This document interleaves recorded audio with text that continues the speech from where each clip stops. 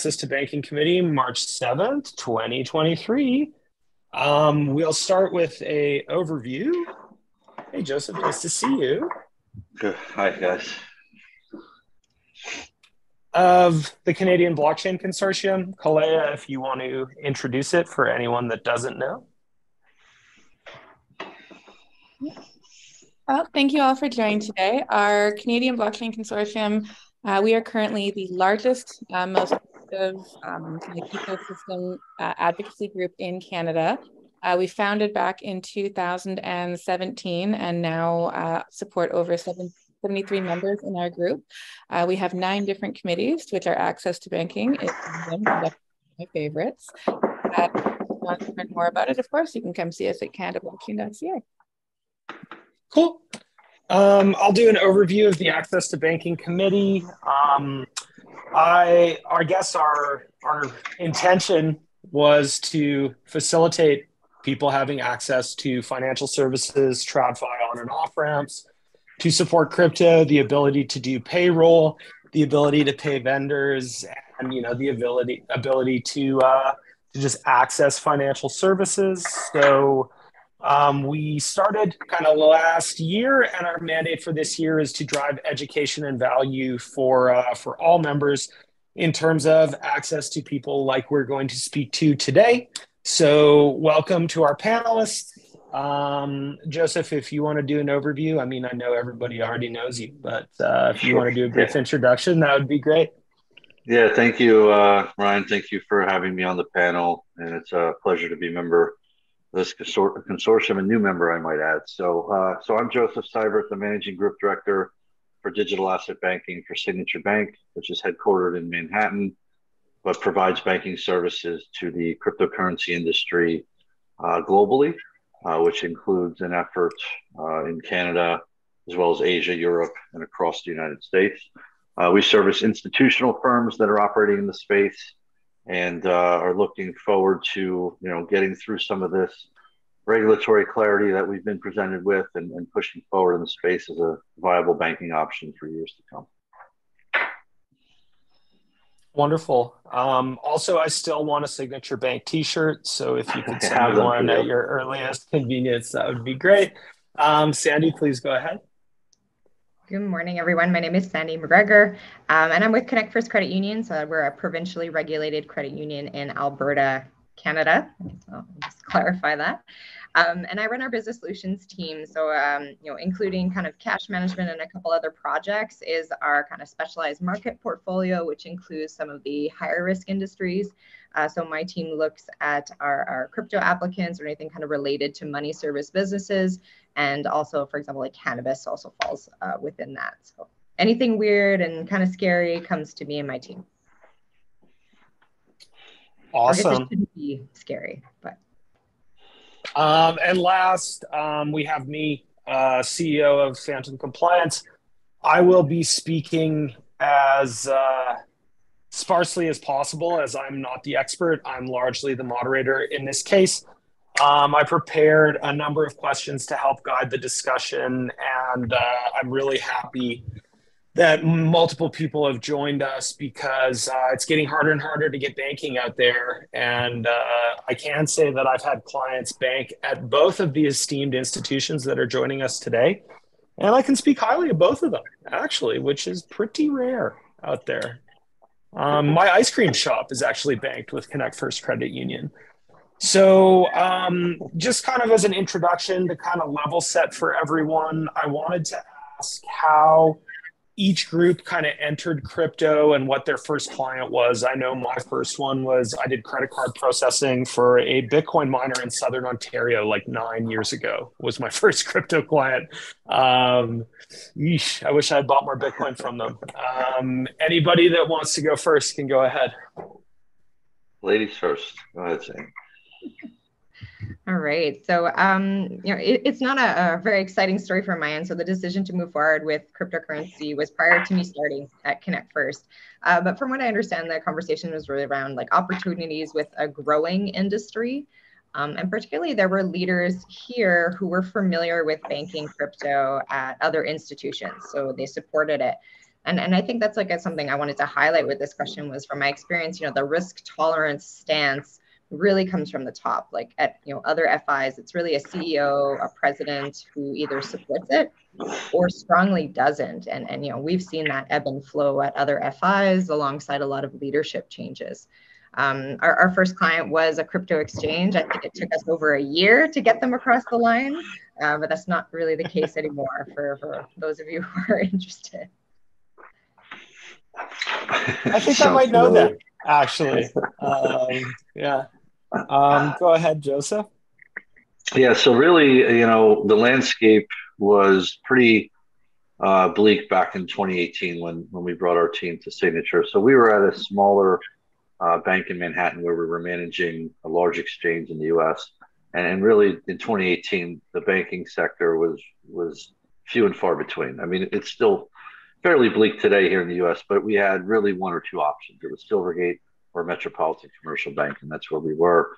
And essentially, that bank just decided to exit the space uh, really overnight, and uh, we had to find a new home. So, luckily, Signature was ready to embrace uh, this space. Our, our, CEO at the time, Joe DePiano, and our chairman Scott Shay were, were very behind us. So we decided to to move over and then build an institutional friendly ecosystem where we launched Signet in 2019, which we can get into later. But our first client was another New York company that was into crypto that we had stayed in touch with during the transition.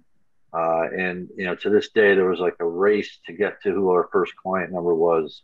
Uh, and these and these guys, uh, they made it across the finish line first. But we were in a position to probably be in a three to four month onboarding process that we shrank down to about two weeks when we got here. So it was uh, fast and wow. furious when we arrived. Amazing.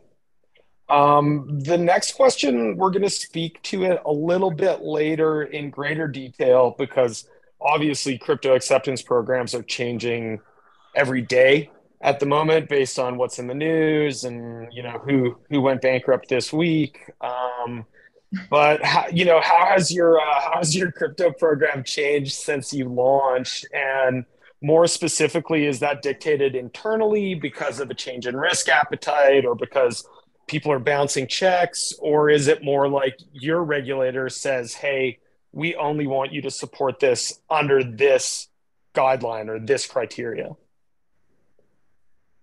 I can start. Um, you know, so um, since I kind of took over this portfolio, you know, coming in pretty green on the crypto side, like very aware of like blockchain and those technologies, but um, you know, these are still businesses. And, and my questions and my team's questions and doing the research that we do is always around like, okay, how do we understand these companies as a business? You know, what do they do? Who are their customers? Where do they operate? Who do they serve? I think those were more of how we've changed it and, and looked at how can we compare this to other and, and make other people within our organization understand what these companies are doing. Um, so I would say our, our, program has become a little bit more, well, a lot more intensive in terms of that we're involved with the companies. You know, our appetite, um, we gauge our appetite based on what the business is doing, how we can understand it, how transparent you know the company is in talking to us. Um, and I, I think we've, you know, we've got ourselves to a position where when there's a big kind of you know negative news story we aren't really impacted because we were able to hedge it in a lot of different ways at the front end when we're onboarding some of these businesses. Amazing. So that question comes at a, a very interesting time a uh, and what a timely panel this is for what's going on here in the us so it's been a uh, tumultuous few months since the ftx fallout. I think one thing we've learned right away is people were not comfortable with the structure of the organization itself and the experience, lack thereof, that uh, that FTX had running the exchange. And in hindsight, looking back, of course, everything's 2020. But when you when you look at this space and how it evolved and how quickly they succeeded, we became numb to the fact that there were still people out there trying to take advantage of the system. So that's never going to go away. So we've really altered our approach uh, twofold. Our, our executive management team decided to uh, make our own decision internally to you know aid the process for the regulators in what we call concentration levels. You know, so we were uh, we're we're a publicly traded bank with over 110 billion in assets, and we were about 30 percent of the balance sheet when it came to deposits. And as you just saw with Silvergate, that's really a dangerous uh, path if you're a crypto only yeah. bank. The good news for us, we were not just a crypto only bank, but we decided to curtail that down to 15%. So we won't only want our balance sheet to be exposed to 15% of, of total assets. And I think that's a good number moving forward. Number 2 mm-hmm. the regulators obviously are still, you know, jockeying for position, figuring out which one's going to take the lead. But we have to work with several. You know, we work with the also the New York Department of Financial Services, and they, uh, you know, both have different views on this space. However, uh, the primary goal is to protect the banking system and the consumer. So we've, you know, really taken a holistic approach as how can we de-risk some of the things that we know won't fly moving forward and that really uh, goes along with VASPs. You know, we really look at the VASPs as your first point of of entry into this space because everything comes off of that. Um, we, we, consider it the octopus of the, the ecosystem, and you know, if you don't have those um, strong you know connections in place, you don't have an ecosystem. So we wanted to preserve what we could sure. on the VASP side, but understanding there's a new set of, of rules to play by. So we're now working in conjunction with our regulators to really understand uh, funds flow and, and business purpose and, and outlining activity. I think it's it's it needs to be a clear and purpose definition going purposeful definition going forward. Whereas in the past it was like, oh, I might be an OTC desk, I might be a prop trader, I don't know. Well, if you're handling yep. client funds, you can't be a prop trader. So there's a lot of defining that we're, we're working through right now, but it's been self-driven uh, and then working in conjunction with the regulators. Sure. Um, and off the back of that, I think, you know, you hit on a, a, large number of things, which, you know, in terms of acting as a prop trader or moving client funds or anything, um, are you now requiring money transmission licenses for, you know, anyone to access USD or proof of application or any of that?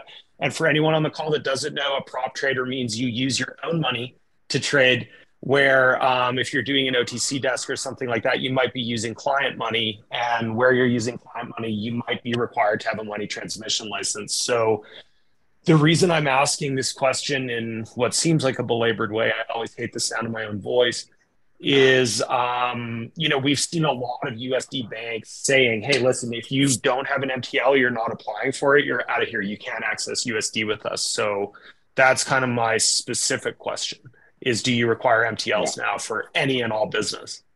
Yeah, and we always have. So just to clarify, you know, a lot mm of times we've seen, you know, misrepresentation of of the business model itself, and and then we get yep. inquisitive. We look at the transaction set, and if it doesn't look like it's proprietary funds, it, it sticks out like a sore thumb. So, you know, we we do require MTLs. We always have, but we're we're also, you know, trying to to set the expectation of the bar a little higher. You know, we do have FinCEN, we do have other organizations inside uh, the U.S. that are regulating certain entities that handle client funds. Trust companies are difficult to get your hands around now with regards to what jurisdiction and what state they are really uh, adhering to. But in New York, we have a BitLicense. Um, yep. So it's pretty simple. If you're a VASP, you need a BitLicense to, to take New York clients.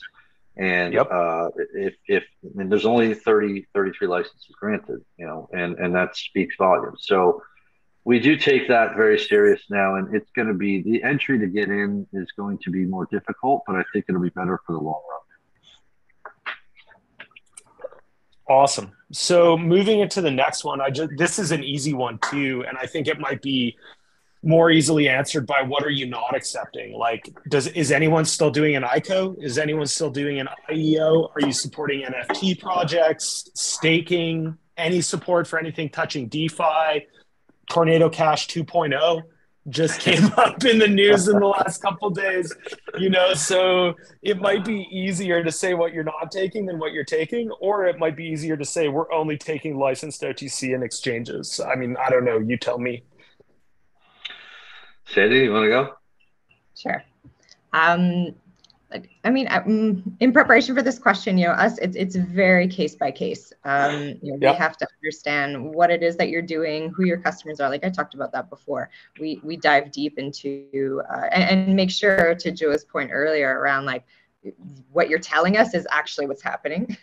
Yeah. um, so one, you know, something interesting in the Canadian kind of landscape is that, and especially within credit unions, is that we have a lot of partners. Like we don't own the whole back end. We work with a lot of third party partnerships. So something, for example, that Connect First cannot take on right now are ATM based businesses because our okay. cash services provider is a big five bank and they have you know we received a cease and desist saying you know we do not want any uh, cash procuring from crypto related transactions passing through our systems so you know as much as i could you know take a deep dive and maybe legitimize your business my partner won't let me uh, so you know that's kind of one of the ones that we really can't look at um, you know if you are trading funds for clients you know for sure you need that msb license um, but interestingly enough, like I think FINTRAC in Canada is overloaded. They have no capacity. There are too many people trying to get PSP license, trying to get MSB licenses. Yeah.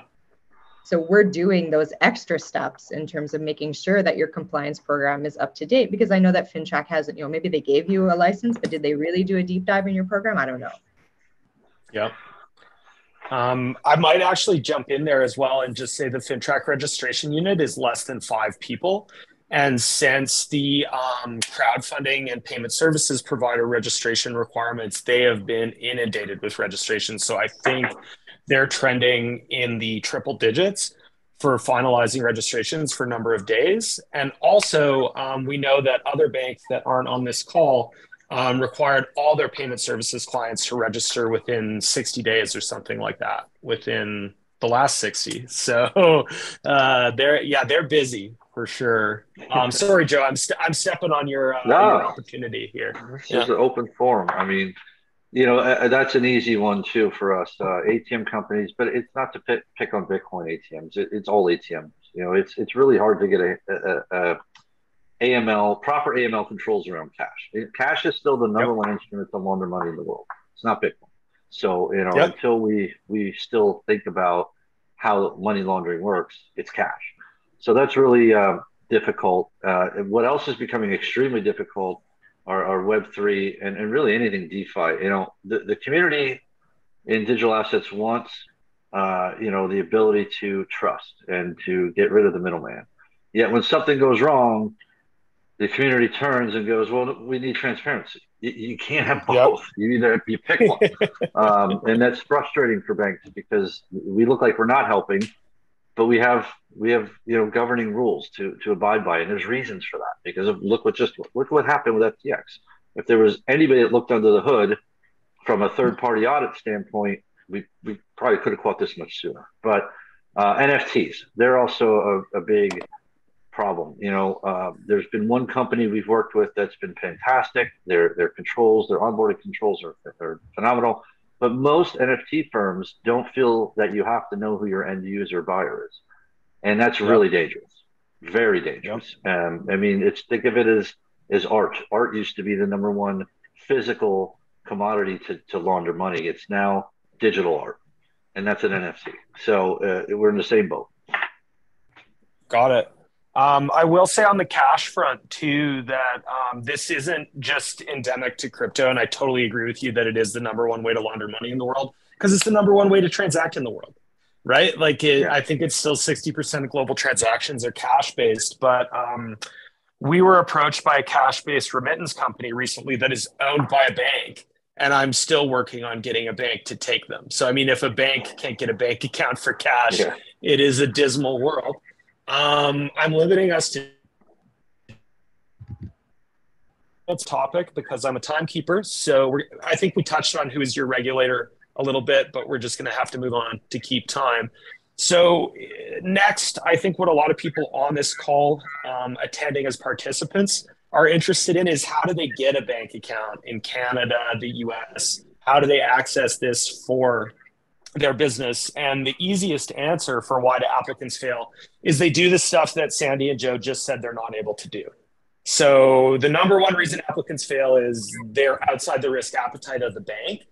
But for people that do fall within your, yeah, let's take an application, you know, it's it's a narrow field, but that's fine.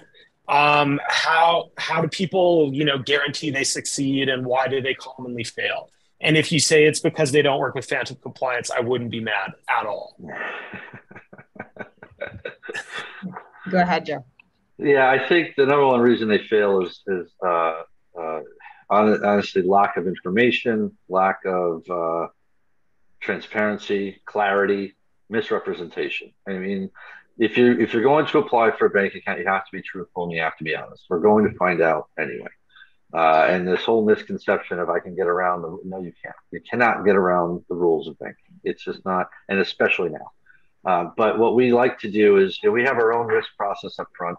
So we have an application set, uh, and we like to talk to our clients uh, and prospective clients out of the gate, saying, explain your jurisdictional funds flow, explain your client base, explain your business model, and experience. Experience matters. We had a company yep. the other day fight me on submitting their resumes. I said, they said, why do you do this? I said, well, first of all, we already have your social security number, your address. We have everything. We know everything about you, your passport, but you won't share your resume. I find that odd. Number two, we're just trying to prove that whoever has keys to the car knows how to drive. That's it. And if you look at what happened, they didn't know how to drive. Yeah. Great answer. Uh, Sandi? Yeah. And, and like doubling down on transparency, you know, um, it puts the whole concept and portfolio at risk. If I've got one bad apple, it, it like, or whatever that expression is, I forget what it is, one yep. bad one like ruins my bunch. Uh, so yep. you'd be ruining it for everybody if you're not upfront. You know, I like to, I like to make sure that, you know, if someone within my organization or outside is asking us about our portfolio, we have the answer. I never want to be caught with like, I don't know, because it, it, it yep. puts everything at risk. Um, you know, and if you're setting yourself up for success, uh, you know, lacking compliance programs, you know, we talked a little bit about that KYC line. Like you need to know your end-to-end customers. Um, we, we've seen some companies wanting to work with sanctioned countries or very high-risk countries. Yeah. And with no uh, extra measures in terms of you know compliance or, or anything like that. Um, it, it's uh, we've seen some nonprofits approach, us, which is like an inappropriate structure in, in most cases. Um, so it, it's really setting yourself up like a legitimate business and being transparent with what you're trying to do, how you make money, and, and how you're going to operate so we know what to expect. Um, and, and, I'll add a piece around again, Connect First is provincially regulated. Like we can only uh, establish relationships with companies that have a material business interest in Alberta. So either you either already have that or you're setting that up. Um, and you know, there's so many third-party suppliers out there that are available to support you. So if your leadership team isn't strong enough, or you know, you're missing some things on your resume, you know, there's ways to bring that into the fold. Got it. Um, my slide disappeared because I'm currently in my office in Pincher Creek on two different internet connections. If anyone knows rural Alberta, they're going to know uh, the access to internet that governs working out here. So I'm going to add, I guess, a couple items that I wanted to talk about as to how clients set themselves up for success and why they fail. Um, anyone that doesn't know, we do manage a lot of banking applications with my company and a lot of the reasons that we see people fail is um, they often aren't clear on even what their business does. Um, they don't know their own flow of funds before they apply for accounts and have trouble explaining it. They're not aware that um, you know using client funds. So a common one that we see is clients go, okay, I don't have 10 million in capital to settle trades in real time but I can send a client's Bitcoin to a liquidity provider, receive that money back same day, and remit it to the client. They don't see this as being a remittance transaction between three different counterparties that is licensing eligible not only on the exchange piece but also on the remittance. It's it's not even in their brain. So I think I also want to mention Sandi's point about one bad apple ruining the bunch um, we often get clients that think, well, listen, I do $2 million a day. Why wouldn't anyone fall all over themselves to have my business? And it's like, well, because we have four to 10 to 20 clients that are 10 times your size is the reason that we don't, you know, so I, I think often we see people have, um, I guess, a distorted view of their own importance and their own relevance in these instances, and I think they, um, you know, they might try to dictate um, how things go with their bank when they're not necessarily in a position to dictate anything. So, you know, uh, I, I don't often answer my own questions, but in this case, I wanted to answer those. Also, check it out, y'all. I got my other internet connection working again, and we have a slide again. So, how long does account opening take? I'll That's a leave it loaded to question. the big boys here to tell me. Yeah. Uh, so y- there's two answers: uh, before FTX and after FTX. Uh, so before Yeah. FTX, you were looking at a two-week risk review and then about a four-week onboarding DocuSign implementation, and that four weeks included getting your credentials, signing on, testing, you know, making sure you're fully operational. So it used to be about a six-week all-in. Uh, right now, it is um, anywhere from three to six months minimum, and and the reason for that is we are we are basically scaling back on onboarding uh, just any entity, any any brand new entity that wants to come in.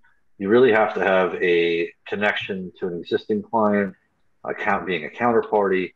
Um, not saying we won't take new business models, but we we scrutinize heavily your your business model up front now, and that's now going to be in a queue uh, that has quadrupled uh, over the last uh, three four weeks. Yeah. So um, we're just in that. Let's still do case by case, but the timeline has now uh, really gone a little little haywire. But uh, we have to make sure the ecosystem is protected from the counterparties they they're transacting with, as well as the bank.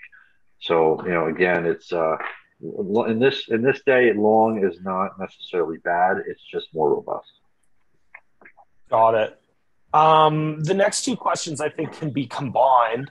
So, you know, what kind of probation or transaction monitoring can people expect? Like, obviously, we're not giving anyone an open commercial account with the ability to do bloody anything. Um, at least I hope not. And uh, do you have ongoing reserve or minimum balance requirements? And for anyone that doesn't know, a reserve is where the bank keeps a percentage of your ongoing volume to guard against clawbacks or chargebacks from customers and so on. And I can I can speak a little bit to account opening as well. Um, you know, our process is very similar, I think, to the pre FTX.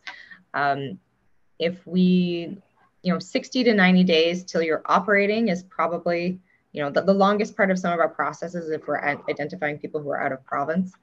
Um, and if we don't have a backlog, yeah, same thing, like two to three weeks to to get you know an approval in place or an application in place. And if we don't have more questions, um, you know, probationary and monitoring, like I, I think it's a little bit uh, casual in a sense that um, there are no like set requirements, but we are having like regular conversations with you. We're, we're looking at your transactions. We're seeing what's your fund flow in so far. How are you onboarding?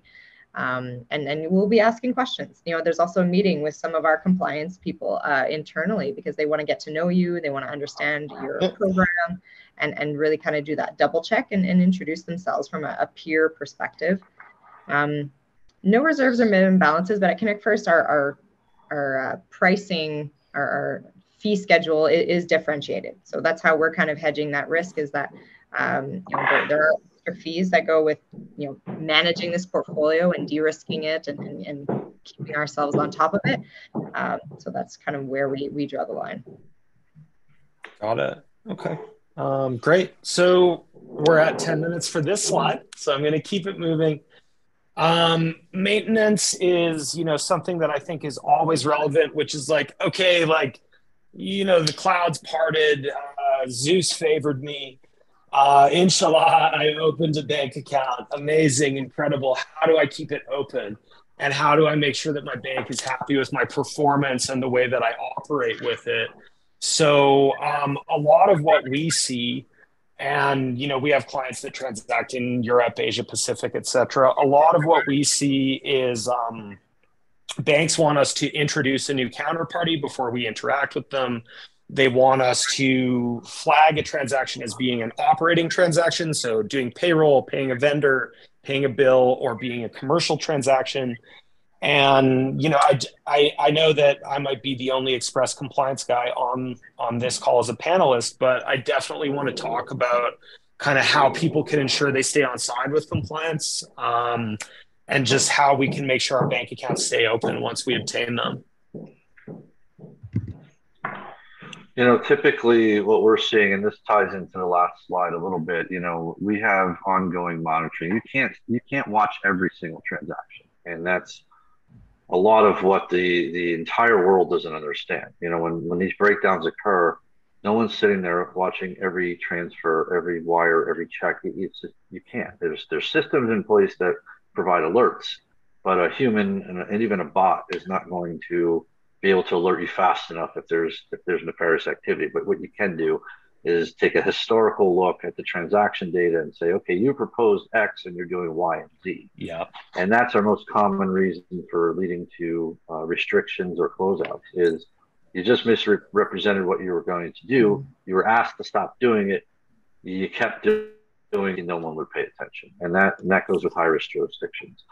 Um, so that's the easiest way. Um, and then the number two easiest way is to just do, uh, you know, if you're a hedge fund and you start to write yourself checks, you know, obviously that's that's not going to fly either. So it's really a pattern of activity we see that is really, it's just sheer um, neglect for for what you've been granted. It's a privilege to have a bank account, and people don't understand yep. that. I think it's like a driver's license; it can be revoked at any time for any reason.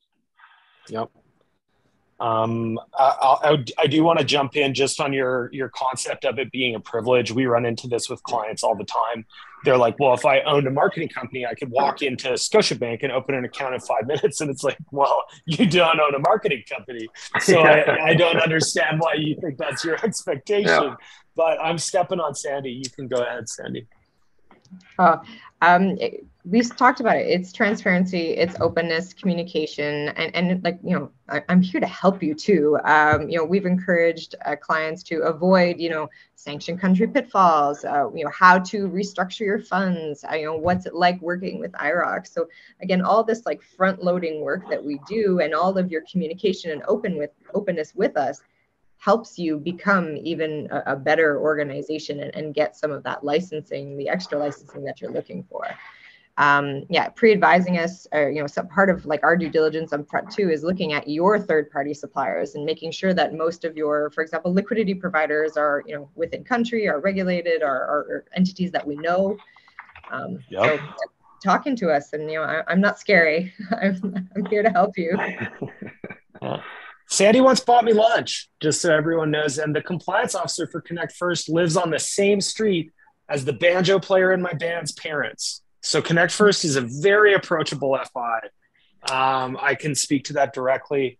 The last um, last question on this slide is, you know, what happens when a, uh, a customer recalls a payment or, you know, when there's chargebacks and just for anyone that doesn't know this is when a client you know makes a payment to you and then changes their mind so for example something that happened not with connect first or with signature but with another one of our clients they had a um, a company represent that they were doing proprietary trading they were actually running an unlicensed investment fund in their own country taking in, you know, client retail wires, buying Bitcoin off of my client, and then the people that they ripped off got upset, charged back those wires, and their bank in turn charged back their wires to us. So, you know, I, have I've gone through recalls with Connect First and found them to be great. So I, you know, put this one in here so you could hit a home run, Sandi. But also, I think it would be valuable for everyone to know a little bit about, you know, what the bank expects when there's a chargeback payment and what the consequences can be for you as a person that you know has a sloppy fraud prevention strategy or something of that nature well it, it, these are case by case and our expectation is that you show us you know the due diligence that you've completed um, you know to prove out that or, or to tell the story essentially like what happened here. And you know we need a lot of details to on both sides to figure that out and to work as from with our compliance teams and your compliance teams to figure out okay what went wrong and how can we improve this and avoid this in the future? Um, and you know restricting accounts yeah uh, wire recalls is probably the number one thing that makes everybody in the whole organization freak out because you know I've got people in wire ops who have no idea what you are and are receiving recalls saying that you're fraudulent Whereas we know that the story is a little bit more complex than that. And I'm, you know, I'm working hard internally to say like, no, no, it's not our member who's the fraudster in this scenario necessarily. Yep. Great one. Yeah, in the U.S., it's pretty. It's it's it's interesting. So we have the automated clearinghouse, which is you know an ACH payment that you know as a consumer you have 60 days to to dispute. So uh, we don't now entertain retail. So we don't do ACH for digital asset purchasing, uh, and we we yep. make our you know wire activity be a hundred thousand or greater. So it eliminates a lot of the small fraud. But what we what we've come to find over the years, you know, someone will buy Bitcoin. Uh, it, it, obtain it in their wallet and then go run down to their bank and, and say fraud, fraud, fraud. You know, give me a wire recall. Uh, the good news is the uh, the recall has to be honored by the payment recipient, uh, and they have to authorize their bank to return those funds. So the wire is usually final, unless there's some type of uh, you know litigation. But uh, that protects the asset from being delivered, the, the product from being purchased, and then not you know making off with cash and Bitcoin. Uh, but the ACH is a real problem. I think that we identified it early on. We, we wanted to support this area of payments, but it just didn't make sense because if you if you look now, the clawbacks are uh, phenomenal that are going through the FTX world. It's uh, everyone that had an ACH is now trying to get their money back 60 day within that 60 day window. Yep. And I mean, I think you guys nailed something that's really important that changed kind of in the last two, three years. Is I can remember when we used to get wire recalls before crypto was expressly regulated and all of our accounts weren't coded as MSBs or money transmitters or anything, the bank would just say, well, we think you guys deserve to lose this money because we don't think crypto is real and you know you can beat it and uh, there were a lot of like business ending losses taken back then and i'm really um, i mean it makes my job easier but it also you know give fills me with hope for the world that we live in to see to see the recipient banks, you know, kind of going to bat for us in uh, in these instances. But uh, you know, if we were here for my opinion, it would just be me on the panel. So I'm going to move to you know, kind of looking forward, and then move us into participant questions thereafter. And I think we've kind of nibbled around a lot of these already. Um, you know, we've mentioned the the worst three letter acronym in the industry, FTX, many times. Um, and I can say that, you know, I'm going to use this as a segue into the other questions, i.e., specifically about Operation Choke Point. Um, since FTX happened, we've seen, you know, Joe, you mentioned Metro Bank exiting crypto completely. We've seen other banks, you know, restricting their programs or upping the barriers to entry for application and so on. So, I mean, I know we've touched on it a bit, and I know that both of your institutions do really enhanced robust due diligence and application both prior and post but have there been any specific changes i.e you know no related party transactions no wires being credited that aren't a name match to the account holder's name or any of these things has have any of these changes happened and you know maybe you're not the right people for granular questions but what can i say i'm a curious guy no, I can share. We've had some public news out there. You know, Kraken and Binance, who are obviously uh, in, the, in the news a lot more than most exchanges. You know, we we had to uh, minimize our exposure to their retail footprint, which was uh, comprised of overseas and domestic here in the U.S. So we put in a new limit again of hundred thousand dollar minimum, uh, what we consider retail. So any anybody transacting to buy any type of digital asset from one of those exchanges or through an OTC trade, you know, we won't accept that under $100,000 any longer. We used to, uh, but that's one massive change we made.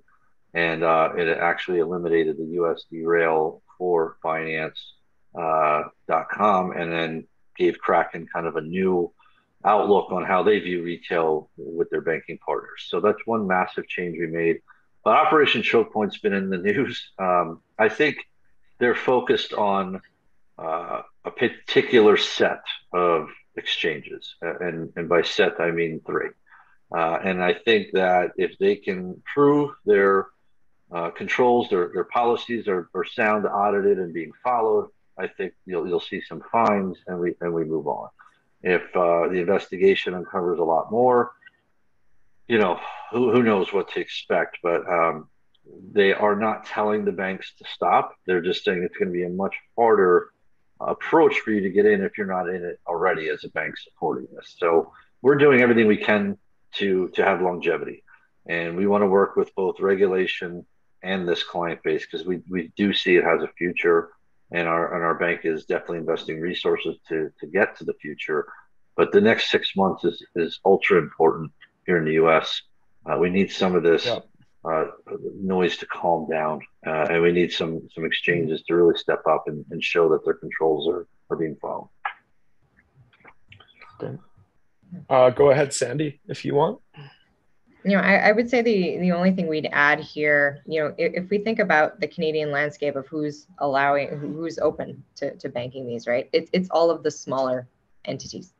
Yeah. Um, so we look at you know as we as, as our programs grow like we have to watch our exposure in a sense and it doesn't even have to be to the portfolio as a whole it could be even just exposure to single entities right like no uh, no credit union wants to have like 50% of their deposit book you know with some of these entities so you know we you might see some pushback from some organizations being like you're too big for us or we don't even have the capabilities to be able to support you um, so yep. I think that might be more what's playing into, especially if we see some exits, you know, some money kind of moving around. Like we might not even be able to say yes all the time, depending on on what that looks like. I think that you guys both uh, mentioned something that Sandi was actually really informative to me a time that you and I were talking about. Like uh, you were talking about how much of Connect's first business was auto finance and how profitable auto finance was for your FI and how it, you know, how like you couldn't, you know, endanger that line of business by having your crypto business take up too much time or resources or be too much of your deposit book. And I think one of the things I wanted to achieve with this panel and one of the things that I want to achieve, you know, as often as possible in life is just removing people's blinders so that they can see like you know this fi doesn't exist just to bend over backwards for you. It doesn't matter how good your business is. It doesn't matter how profitable your business is. And it certainly doesn't matter what opinion you hold of yourself. You need to work hard pay your dues demonstrate value and you know frankly not be a pain in the ass um, 43 minutes into the call first time i swore. New record. But um, you know that that's how to make sure that these accounts stay open. That's how to make sure that your bank doesn't hate you. And these are basics in life but i find they get missed in uh, in crypto a lot. And just before we move into questions and final thoughts i do just want to say for anyone that doesn't know operation choke point was a us federal uh, program that limited access to banking for high risk industries like pornography firearms sale, payday lending. A lot of it was motivated by the predatory payday lending that occurred, you know, a decade plus ago. And there's been a lot of usage of Operation Choke Point to uh, refer to any of the banking changes in the US. So, you know, Custodia being denied their charter, Paxos being indefinitely delayed, Metro exiting crypto altogether, multiple smaller programs changing their acceptance and making it so if you have a PO box or virtual address anywhere in your corporate structure, you can apply. If you don't have money transmission licenses, you can't apply. If you have a nominee shareholder on that Maltese Corp you opened five years ago to sell an NFT, you can't apply. These these bars are here now. So without stepping on final thoughts and question period, I'll open to the panelists to kind of wrap up where they think you know access to banking and you know state of banking and crypto is. And then we'll get to as many questions as we can before we finish on time. Know i would say we want to look forward as an institution and we need to come out of this uh, together. And i think the, the crypto companies and the banks that are favorable to the space need to work a lot more closely to provide transparency and and as you said, don't be a pain in the ass. Be supportive. Be understanding of why we're asking these questions. It's not because we just want to intrude. We we need to know and we need to explain. You know, not a, to, to this day, nobody knows a lot about how this funds flow moves, and we have to constantly explain it.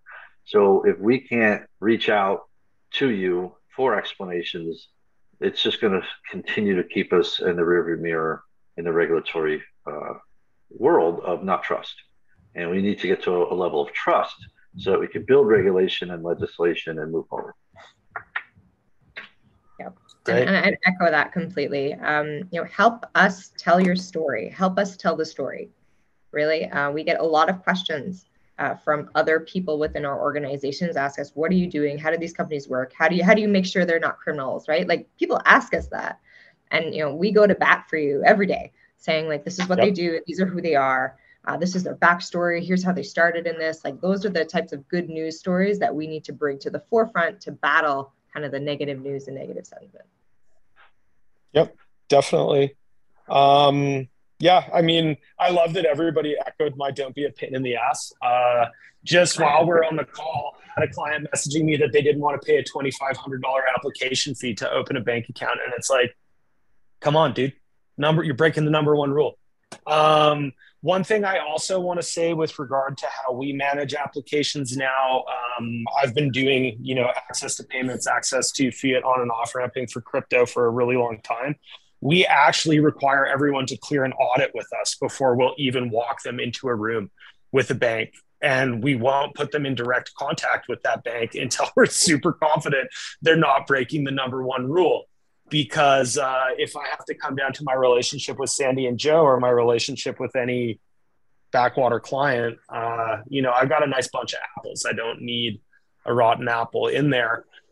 So, with 13 minutes to go, and we were all skeptical that we were going to fit all those questions and content into under an hour, and we made it. Uh, congratulations! I would open to uh, to questions from anyone. I know that there have been a couple in the chat uh, let me see.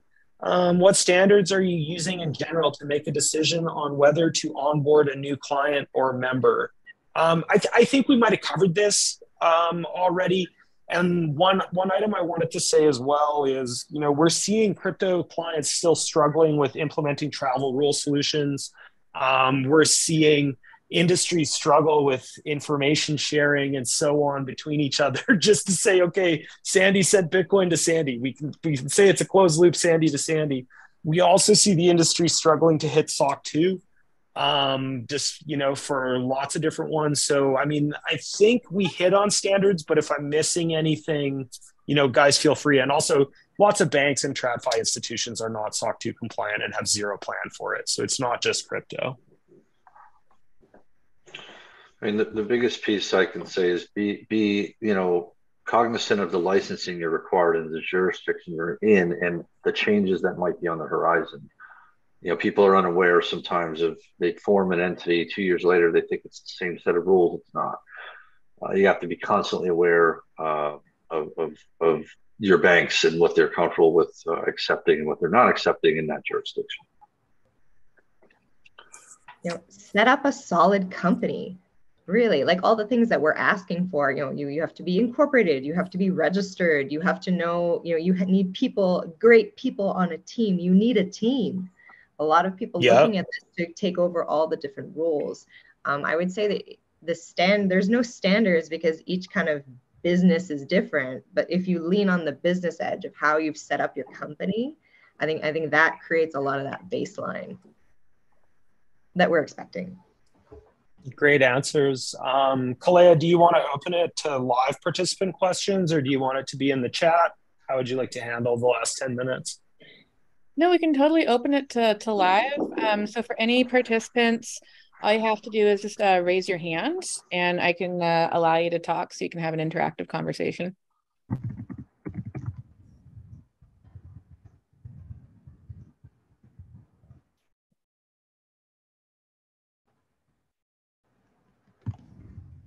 Crazy, no questions? That just means you guys were so amazing at explaining everything. There was nothing left to ask. So, I mean, I, oh, go ahead.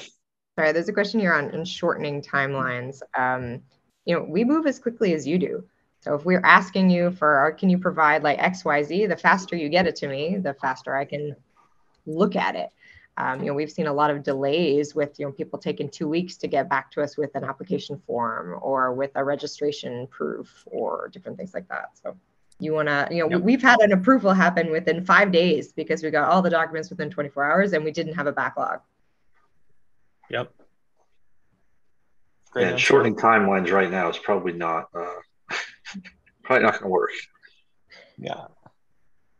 I mean, yeah, asking a bank to go faster when you're lucky that they're even looking at your file and replying to you is breaking yeah. the number one rule, right? Like, uh, so what we often find is clients want the ability to pay rush fees or they, you know, they want to be noisy and have everyone pay attention. And it's like, you know, we all have a lot going on. You catch more flies with honey. Um, so uh, I, I'm, I'm not aware of any bank that is moving faster than a month right now. And that's a hard fought 30 day timeline when we achieve it. And like Sandi said, it's only when the applicant has everything together. Um, yeah, it's it's rare.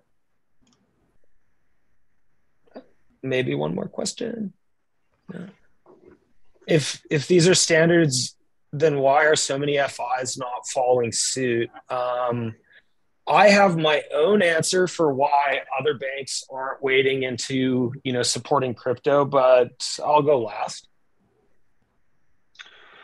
Uh, I would say too many too many risk components, too much money to get in, and too much pressure right now, and that's in the U.S. I, I think that some of the banks are on the sidelines waiting and, and seeing for the next bank to get in, but you know we need regulatory framework and we need legislation until that occurs, you're gonna you know you're gonna have three or four banks that support uh, for the next three years.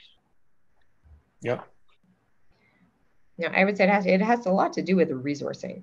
Like we have built standards, programs, like we have people dedicated to this. Um, I, I, think that, uh, and, and, you know, it, it cascades into other teams, right? Like our compliance teams look at this, our, our legal teams look at this. I, I think there's a lot of hesitancy to dedicate that many resources to one industry segment. And you see that a yep. little bit with cannabis too. Suddenly all the banks had to bring in, you know, pros, and there's still some banks that don't want to bank a, a completely regulated product. So um, I think it comes down to, to resourcing plays another role. And then, you know, just lack of understanding or, or, or risk tolerance, just being like, no, it's too complicated. I'm not touching that. In, in French, yeah, you'd say, trop de, je me mêle pas de ça, c'est trop grave. I, I think you hit on what my answer was going to be, which like there's a few different schools in like the traditional approach to compliance, and one of them says no to everything. And if and when an executive overrides them, and something goes well, great. Something went well, and they're not responsible for it either way. If and when an executive overrides them and it goes poorly, they were right and if no one overrides them, then there's no risk to their FIs. So, um, you know, what what I will say, like, and I'll spare as much personal comment as possible. A access to, to traditional finance in Canada, period, just personal banking or anything, is super restricted, not very open, not very world leading. We still don't have IBAN infrastructure.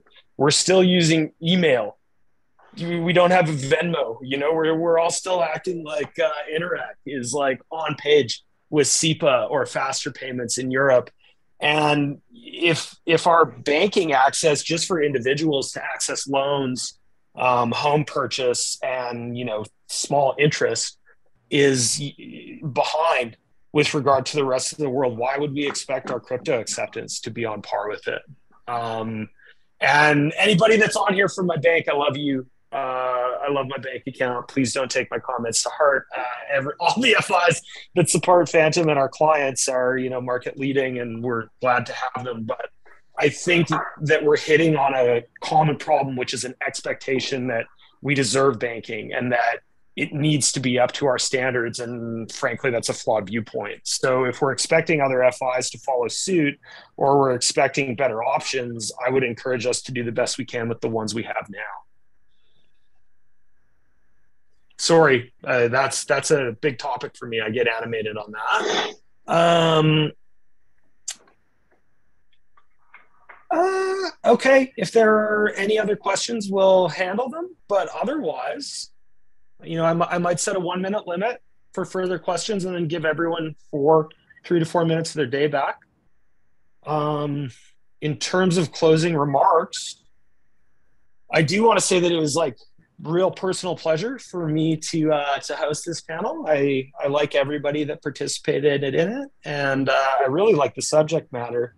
So uh, it was fun to spend time with everyone today. And if no one has any further questions, I will close this panel and uh, wish you all a fantastic Tuesday. Thanks, Ryan. Thanks, Sandi. Thanks, Colette. Awesome. Thanks, Thank you. everyone. Thank you.